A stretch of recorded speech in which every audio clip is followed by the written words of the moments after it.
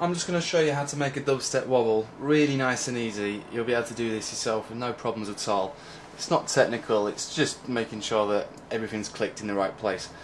I'm using Ableton to make the tracking. I've loaded up a track already, but what I'm going to show you is just the very basics. This is obviously a, a MIDI file and it's just got one long note, but so far I'm just going to mute everything so you can hear there's absolutely nothing there. I'm just going to put in Ableton, sorry, Albino 3, which is the VST that I'm going to show you how to make the wobbles in.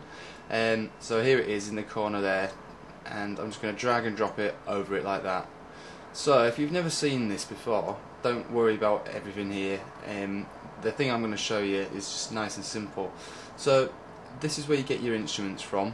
Um, they're all preset, loaded up instruments, various different types. We're going to make a bass um, and I'm just going to choose for the sake of anything deep basses so there we go. I'll just use the very first thing that comes up.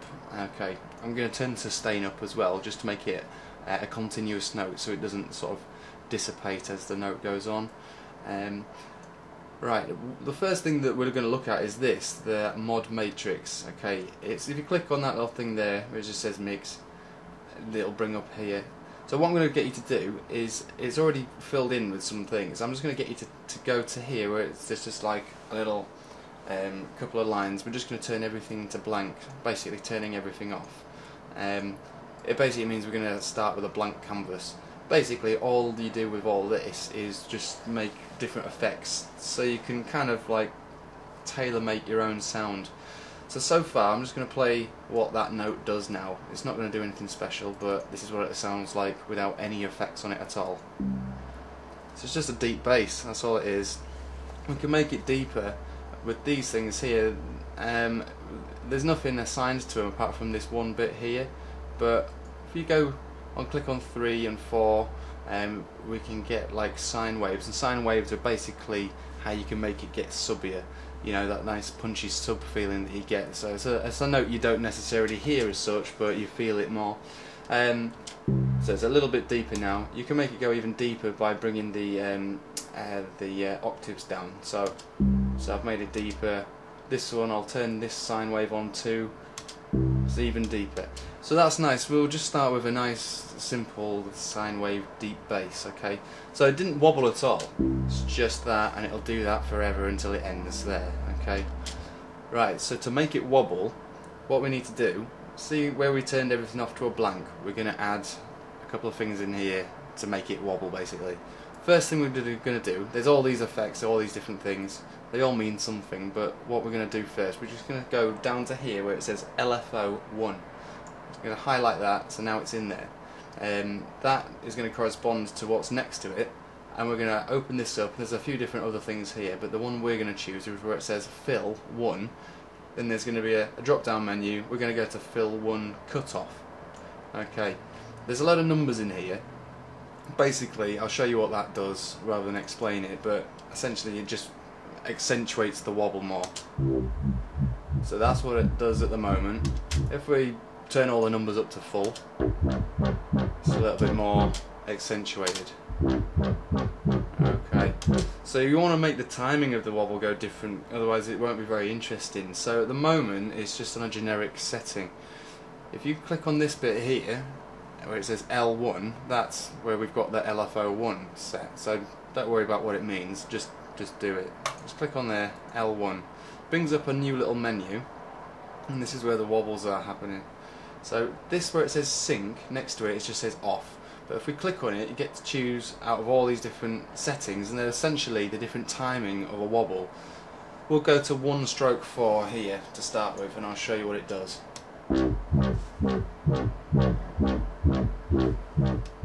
So it's just doing that, and it'll do that forever.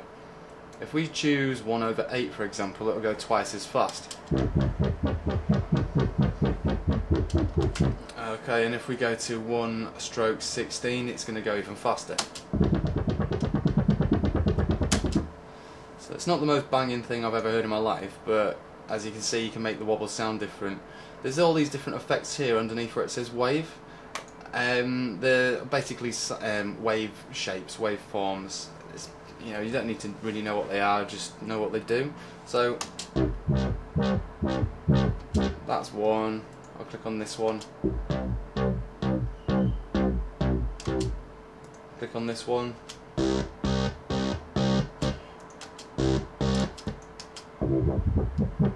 And so on and so on. The most common ones I'd say would be the first three. Um, they're the ones that you'll hear most frequently and you'll recognise the sound when you start to play with it. Okay, so for instance, now we've got that, we've set it to that. One thing I'd always advise you do is there's these two little buttons here. One says mono and it's always always selected. Just leave it selected. Just click that where it says RET, R-E-T. And it just makes life easier for you because, for instance, if I'm just going to, um, I want it to do that bit for that amount of time. So we've got four bars and then I'm going to have a little stop break and then and then it comes in four bars away. If that little RET is not assigned, um, when it comes back in, it's not going to be in exactly the same time signature as that. It'll still be 1 over 4, but the beginning of it will be different, and so your track will, it will, it's just confusing really, just just make sure it's always highlighted, and that way you, you can anticipate exactly how it's going to sound. So, to put it into context, I'm just going to unmute the rest of my track, and uh, now we can hear what it sounds like um, with the wobbles in it.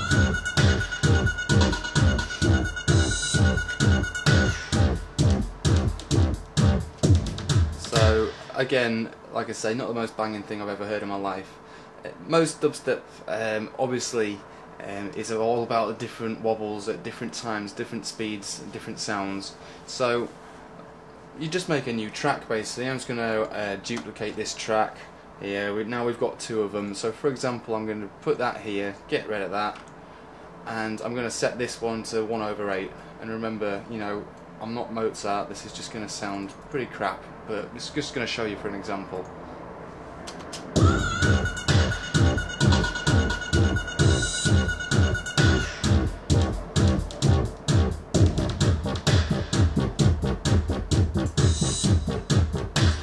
And so on and so on. So basically, once you've got the hang of that, um, you can really just start to play with things, and you'll end up making some dubstep. Really, this is how dubstep's basically made. I mean, people make a lot more complex things than I'm capable of doing, but just to show you beginners how to get started, this is all you need to learn. Um, most VSTs revolve around the same kind of settings as all of these, but I always thought myself that Albino 3 is one of the easiest to use, and it's just a good way to start and you, will be up and away making your own dubstep before you know it. Um, Alright, well I hope that taught you something and um, I might make some more of these tutorials if anyone wants me to.